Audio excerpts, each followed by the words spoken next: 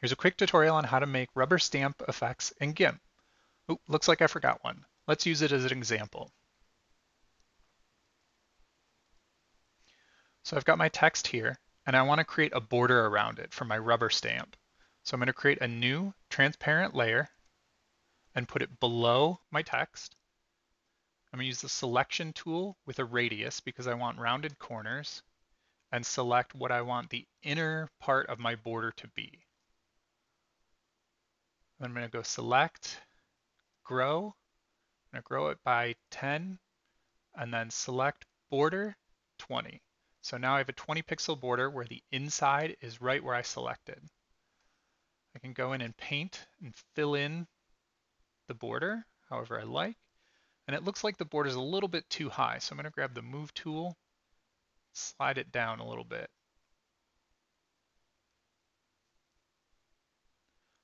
Now that I've got my border, I can change the colors however I'd like. You can put gradients or any color you want in. You can even change the individual color of each letter. I'm going to select my text and merge it down into my border. So now they're on the same layer. I'm going to hit Control A to select all. Otherwise, you'll get some clipping with the filter.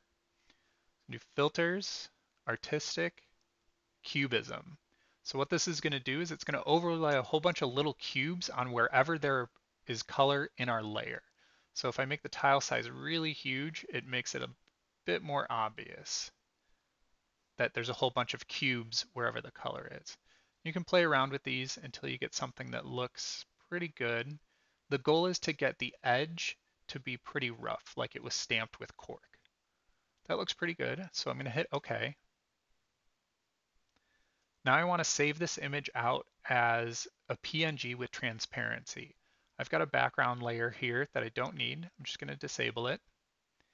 I'm going to get my selection tool again and select how big I want my resulting image to be.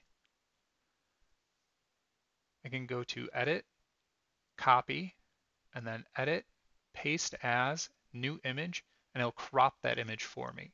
So I can just go to File, export as. I'm to name it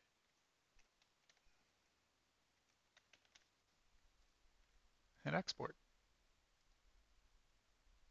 And now I've got a rubber stamp effect that I can use wherever I like. Thanks for watching.